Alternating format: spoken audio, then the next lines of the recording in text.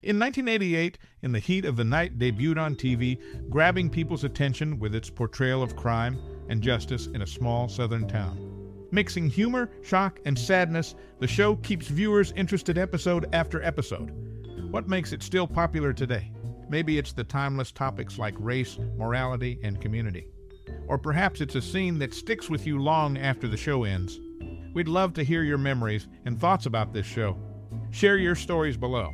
Stay tuned for more interesting facts about In the Heat of the Night. The original movie In the Heat of the Night came out in 1967 and made a big impression on a lot of people. Even though someone missed many episodes because they were in the military, they saw one on WGN 9 from Chicago and got hooked right away. The writing was good, and the actors, especially Carroll O'Connor and Howard Rollins, did a great job. They played Sheriff Gillespie and Virgil Tibbs and had good chemistry together, which made the crime show even better. Some later episodes didn't have all the original actors, but the show stayed pretty good overall. It's sad that some of the main actors aren't around anymore, but In the Heat of the Night is still really popular with fans both old and new. Howard E. Rollins Jr., known for his role in A Soldier's Story directed by Norman Jewison, who also directed the film version of In the Heat of the Night. In 1988, he began starring in the TV series. Rollins attended the 2006 Twilight Zone convention at the Hilton Hasbrouck Heights, New Jersey. He picked up smoking during the stage production of The Big Knife, which he continued until 1989 when doctors advised him to quit. In the Heat of the Night was filmed in Covington, Georgia, the same town where The Dukes of Hazzard was shot for its initial five episodes. The series also benefited from the talent of Rob Reiner, who was encouraged by his All in the Family co star to write multiple early episodes.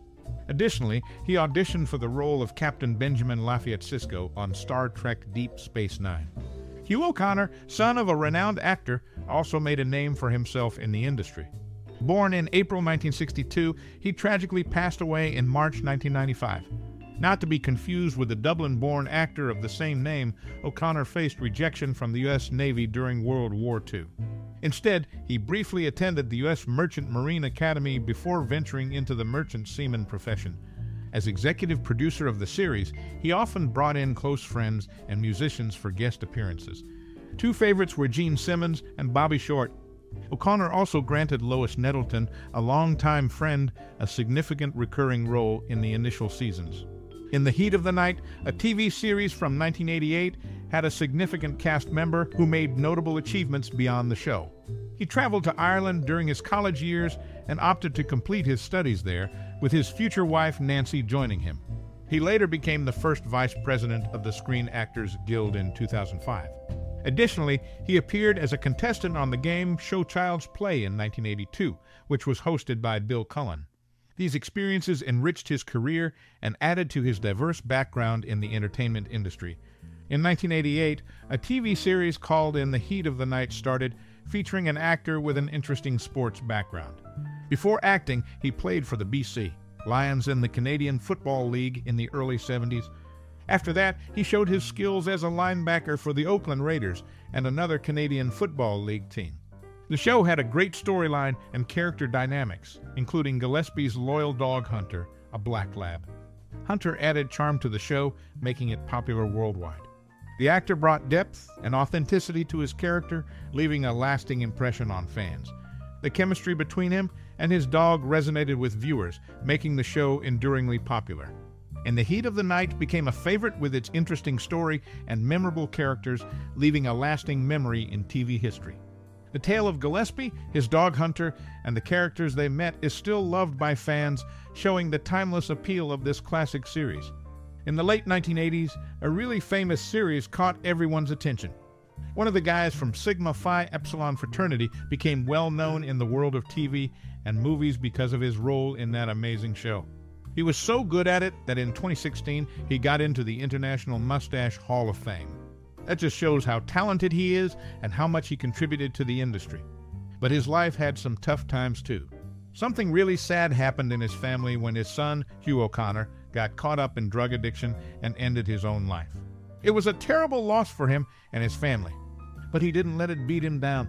He used his fame to talk about the dangers of drugs and try to help others avoid the same fate.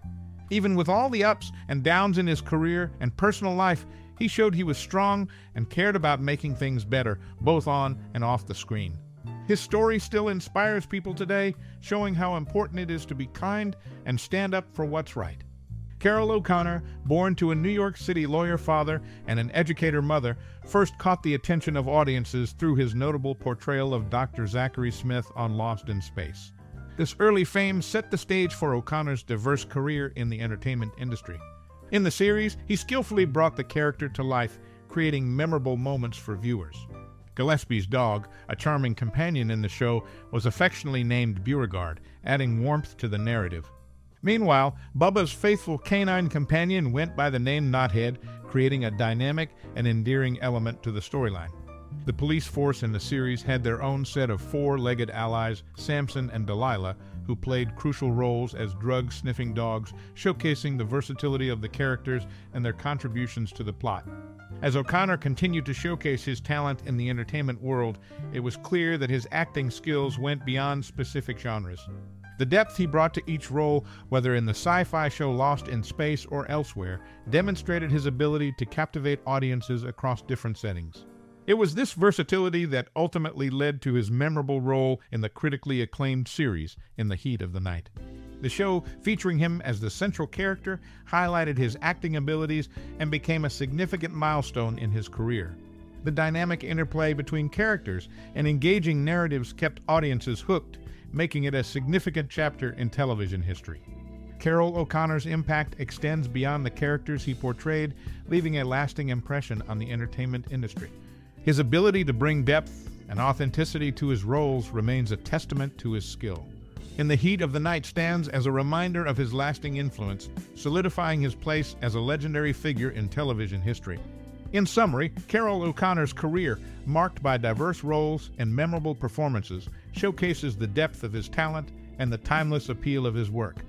Carroll O'Connor, known for his roles in films alongside Sidney Poitier, starred with him in The Defiant Ones and For Love of Ivy.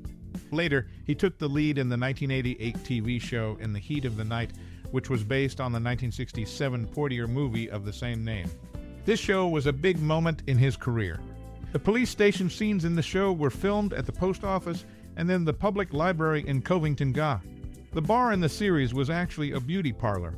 This creative use of places made the fictional town feel more real. In 2007, O'Connor went to the Twilight Zone convention at the Hilton Hasbrouck Heights in New Jersey. It happened on August 4 5, and it let fans meet him outside of his role in the show. The simple filming spots and O'Connor's visit to the Twilight Zone convention show different sides of his career beyond In the Heat of the Night. These details give fans more insight into his work in the entertainment industry.